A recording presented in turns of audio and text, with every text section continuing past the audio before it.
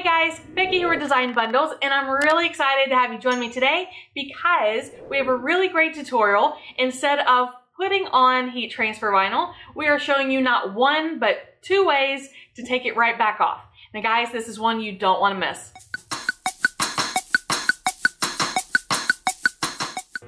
All right guys, so let's go ahead and talk about, um, I have two super easy ways for you to remove heat transfer vinyl okay? Now, one way is going to be easier than the other, so let me go ahead and introduce to you VLR, aka Vinyl Liftoff.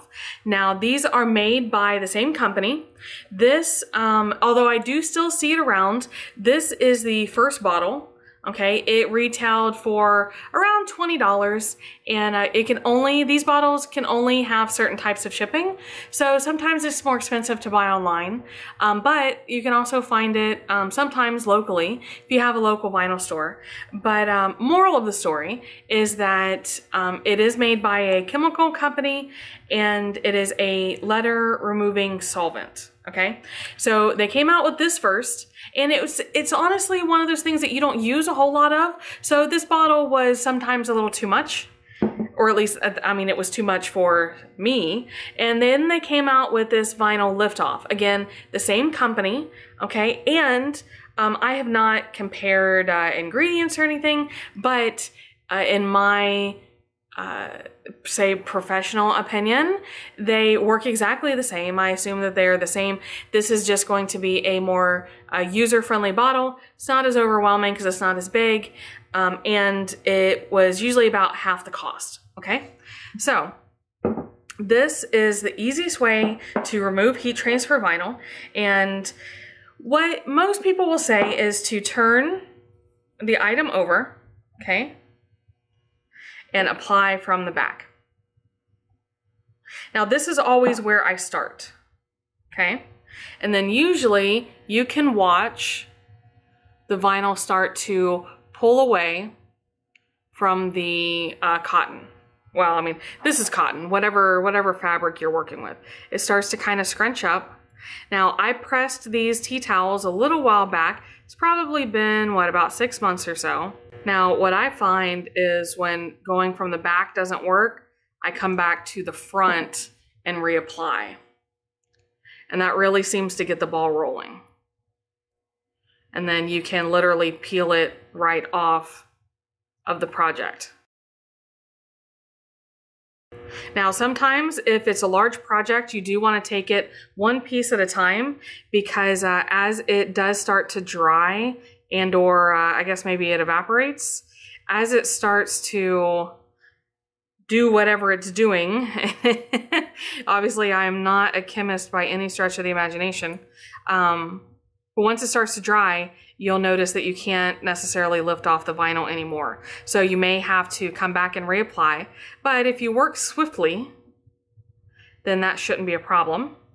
Now, especially if you're working with a dark garment, okay, you will sometimes notice that the adhesive from the HTV will still be left behind. Not as common on lighter garments, although if you look really close, you can see a very faint heart where that outline used to be right here. Okay. So uh, for this project, I wouldn't necessarily say I needed to do anything. And as a matter of fact, after it dries, you can actually reapply. So say that was just um, a wrong letter or I put a wrong name or something like that. And you'll notice even though the rest of this um, absorbed some of that chemical, as long as you don't peel the vinyl off, you can actually leave it or repress it. I know that probably does doesn't seem like it can be true, but it really is. I've actually used it don't try this at home unless you have to. But I've actually used it when I've forgotten to weed the inside of a letter, and I was able to weed out that part and then just repress it. Um, I only did that, I was only willing to do it because it was a shirt for my husband. So then, um, you know, if, if, it didn't work out, I was the only one who was going to be out. But honestly, he continued to wear that shirt over and over, and we never had any other problems.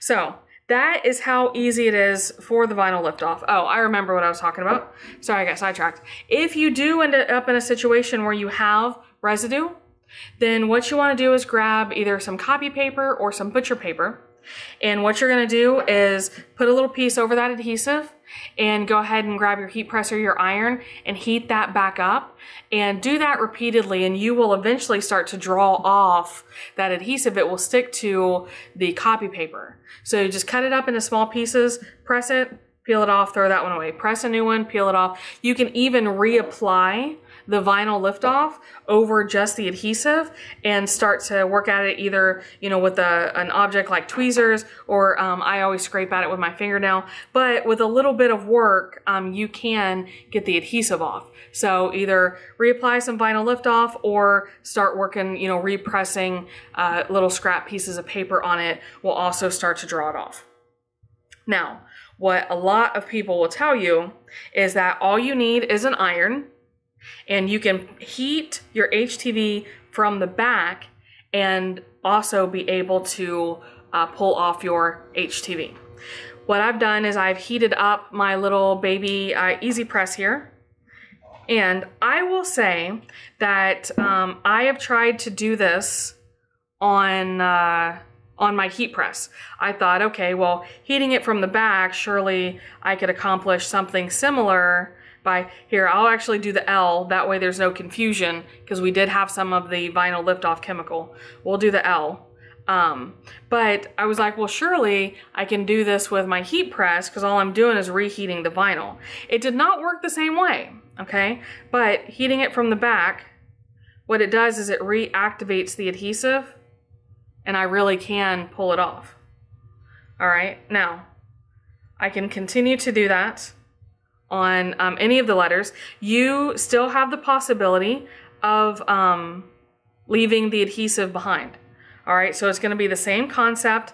If you do have a little bit of adhesive still adhered, then you can, um, you know, heat it up and start to remove it uh, using that pressing method with the um, scrap pieces of paper, okay? So I'm just going to continue to peel this off. So that way if I want to cut and press this again, I can, I can just reapply the entire bottom line. But um, guys, really, this method works a lot easier than I thought it would initially. And the key is all about heating it from behind and then also having a tool. You know, I was using the tweezers. I do think that that makes a big difference because otherwise you're trying to touch with, um, you know, with your fingers and you could potentially burn yourself. But you can see there's a little bit uh, more, I would say more of the dye that was left behind. And I do think this is dye, not adhesive. Um, red things do like to have some dye migration going on, right? But for the most part, that is two very easy and simple ways to remove heat transfer vinyl from your project. So guys, how did you feel about learning to remove heat transfer vinyl? Now we showed you not one way, but two. So really excited about that because it's gonna open a lot of options for you, whether you want to invest in the HTV remover. Now I will say the video was really easy to show you how to remove with the heat on the back, but guys, this is what I've used for years and it is just kind of like my old faithful. So I don't feel like you can go wrong. Plus remember, there will be times that you uh, you cannot apply heat to the back depending on the surface that you're working with. So this could still come in handy. If you happen to see it locally, I definitely recommend going ahead and grabbing a bottle. Now, if you have any questions or comments or you want to share what works for you with removing heat transfer vinyl, then make sure you leave all that down below. I do love hearing from you guys. And make sure you subscribe to the channel. You can always stay up to date by turning on notifications. So when we post a new video, then you will get a little alert to make sure you don't miss out on anything. Now guys, I do appreciate you stopping by today. I am going to go ahead and wrap it up, but once again, just really thanks for stopping by. I know that, you know, you took time out of your day to be here and I appreciate it. So, uh, we'll see you again next time.